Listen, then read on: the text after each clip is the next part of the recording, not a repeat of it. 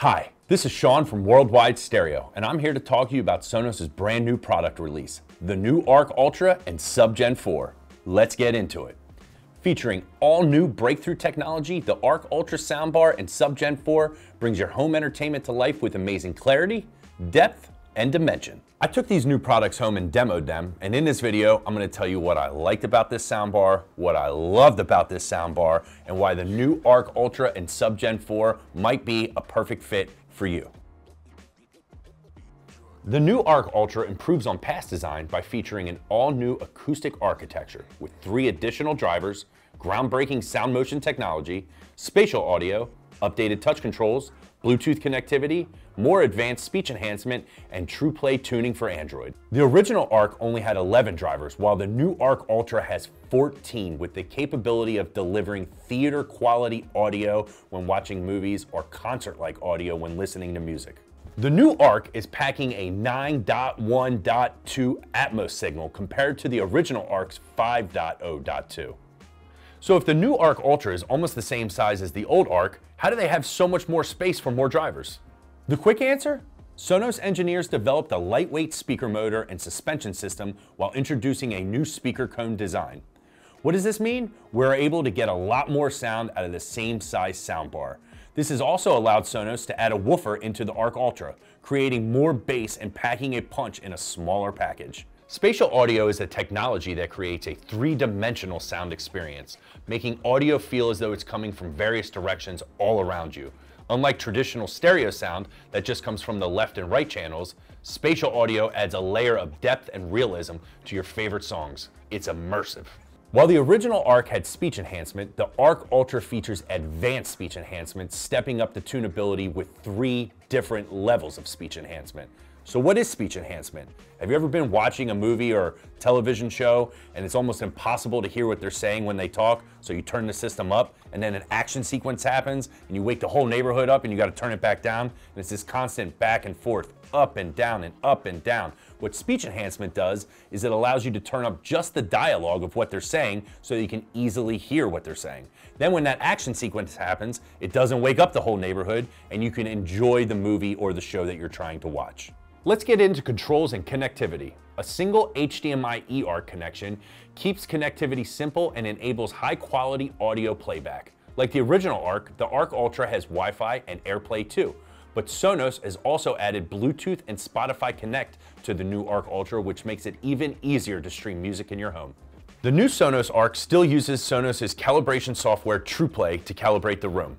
To do so, it's gonna have you utilize your cell phone by taking it out of the case, using the microphone and waving your hand up and down to calibrate the room. If you know, you know. Once completed, every seat in the room is gonna be like the sweet spot. Previously, you could only do the calibration with an iPhone, whereas with the new Sonos Arc Ultra, it allows you to be able to calibrate the room with an Android. New touch controls on top of the soundbar allow you to play, pause, adjust volume, and group speakers. And with the Sonos app, you'll get more control and tunability for the Arc Ultra, including speech enhancement levels, bass, treble, speaker grouping, as well as your favorite music content. And if you want to go completely hands-free, the Arc Ultra also has voice control, which will allow you to control volume, speech enhancement, and request music from all your favorite streaming services. What I like about Sonos is that it's an a la carte type of purchase. You don't have to buy the whole package at once. You can start with the soundbar add the subwoofer down the road, and eventually add rears into the system, completing the full surround sound package.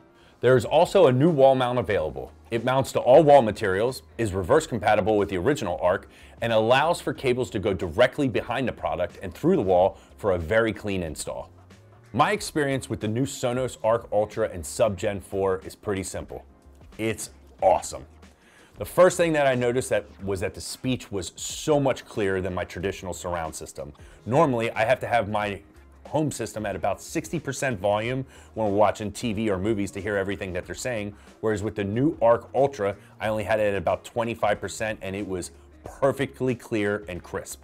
The other thing that I really liked is that I have a large living room, so I was worried that a soundbar wouldn't really be able to fill the space adequately.